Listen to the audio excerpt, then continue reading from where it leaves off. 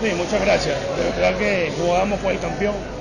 No era fácil, un equipo que está muy bien trabajado, que tiene excelentes jugadores y que sabíamos que teníamos que ser bien correctos, bien ordenados para poder sacar el resultado.